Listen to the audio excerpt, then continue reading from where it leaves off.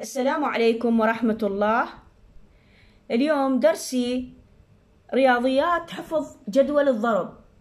يعني نقول أروع طريقة لحفظ جدول الضرب بدون تعب. ها عيني؟ كثير يشكون من جدول الضرب يقولون ما نقدر نحفظه. فعلمتهم طريقة أو طريقتين لحفظ جدول الضرب. وأنا دا أدرس سادس إعدادي هم حافظات جدول الضرب. يعني اقولهن ثلاثة في ثلاثة يقول لي ستة فعلمتهم هذه الطريقة طالباتي وإن شاء الله اليوم حنزلها على على القناة لحضراتكم. فأول طريقة نقول الطريقة الأولى الطريقة الأولى. عندي طريقتين. فنشوف يا هي اللي تفيدكم. وأنا راح أعطيكم إياها اثنيناتها الطريقة الأولى. أنا عندي من الواحد لحد الخمسة ماكو مشكلة بيه يعني مثلا واحد والسهل والاثنين والثلاثة والأربعة والخمسة ما بيه مشكلة. فراح أخذ من الستة والسبعة والثمانية والتسعة. ستة والسبعة والثمانية والتسعة.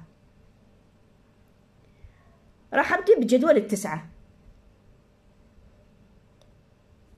مثلا آخذ تسعة في ثمانية.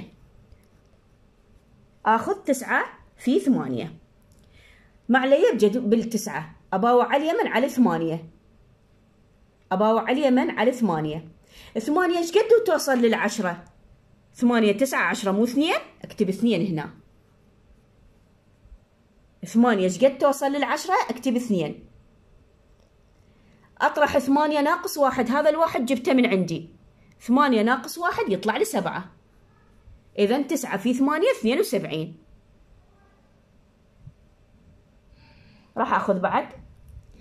ناخذ تسعة في أربعة. أباوع قلت لكم ما علي بالتسعة. أباوع على الرقم اللي يمه أباوع على الأربعة الأربعة إيش قد وتوصل للعشرة؟ إيش قد؟ مو ستة؟ أكتب ستة هنا. أطرح من الأربعة واحد يصير ثلاثة ستة وثلاثين.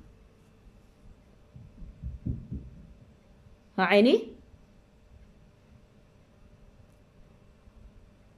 بعد راح آخذ مثلا آخذ سبعة في تسعة تسعة هي مو جدول التسعة. تسعة في خمسة. أباوع على الخمسة. إيش قد توصل للعشرة إيش قد؟ خمسة. أطرح من الخمسة واحد إيش قد؟ تصير أربعة. خمسة وأربعين. تسعة في خمسة طلع لي صح خمسة وأربعين. ناخذ مثلا تسعة في ستة. أباوع على اليمن على الستة. الستة إيش قد؟ توصل للعشرة. ها عسولة. أربعة. عفية أربعة. أطرح من الستة واحد إيش قد؟ خمسة. طلع لي أربعة وخمسين. مثلا آخذ تسعة في إيش قد سبعة ما اخذتها السبعة اي تسعة في سبعة. ابوع السبعة السبعة إيش قد توصل للعشرة؟ ثلاثة. سبعة ثمانية تسعة عشرة ثلاثة. أطرح من السبعة واحد شي يصير ستة؟ اذا تسعة في سبعة صح ثلاثة وستين. هاي الطريقة الأولى. الطريقة الأولى هذه الطريقة. زين. قبل لا أبدي يعني بالطريقة الثانية. ناخذ مثلا نقول ستة في ستة الأعداد المتكررة. ستة في ستة هاي ما بيها إشكال. ستة وثلاثين. أو سبعة في سبعة تسعة وأربعين. يعني هاي حفظ. ثمانية في ثمانية أربعة وستين. هذه الطريقة الأولى. زين حناخذ الطريقة الثانية. الطريقة الثانية. نكتب الطريقة الثانية.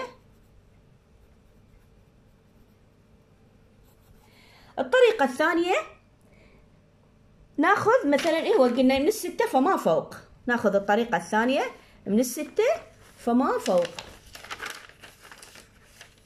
زين. الطريقة الثانية ناخذ من الستة فما فوق. مثلا أقول ستة في ثمانية. شوفوا عيني؟ ستة في ثمانية.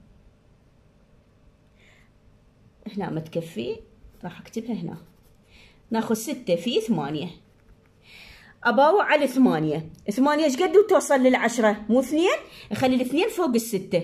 شوفوا ماما. أباوع على ثمانية. هاي طريقة تختلف عن الطريقة الأولى. أباوع على ثمانية. ثمانية إيش قد وتوصل للعشرة؟ اثنين نخلي فوق الستة. أباوع على الستة. الستة إيش قد وتوصل للعشرة؟ أربعة. خليتها فوق الثمانية. أعيد هذه الطريقة. أباوع على ثمانية. ثمانية إيش قد توصل للعشرة؟ بها اثنين. خلي فوق الستة يعني تبادل. والستة إيش قد توصل للعشرة؟ خلي أربعة.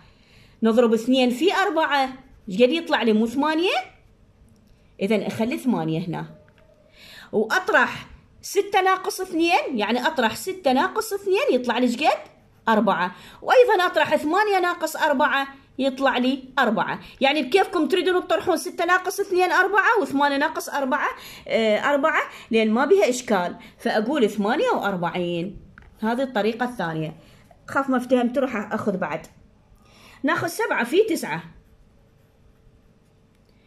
عيني التسعة إيش وتوصل للعشرة؟ بها واحد خلي فوق السبعة.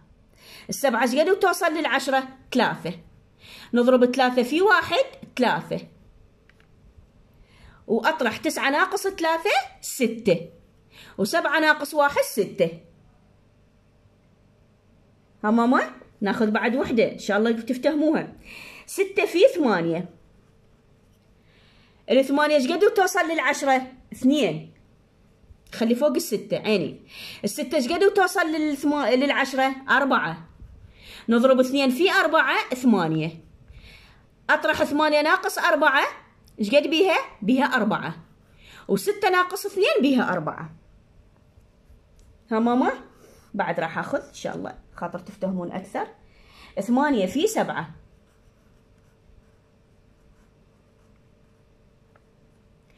السبعة إيش قد توصل بعض ماما. السبعة إيش قد توصل للعشرة؟ إيش قد؟ بيها ثلاثة. خلي فوق الثمانية. ثمانية إيش قد توصل للعشرة؟ بها اثنين. خليت فوق السبعة. نضرب ثلاثة في اثنين ستة. أطرح ثمانية ناقص ثلاثة خمسة.